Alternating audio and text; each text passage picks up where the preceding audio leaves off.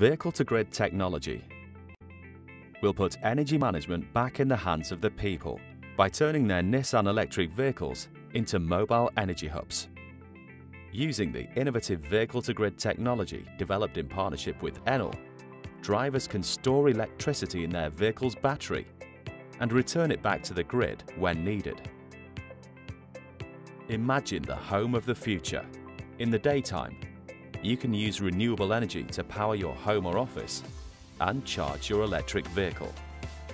When solar power cannot be produced and energy is in high demand, your Nissan electric vehicle can give power back to the grid.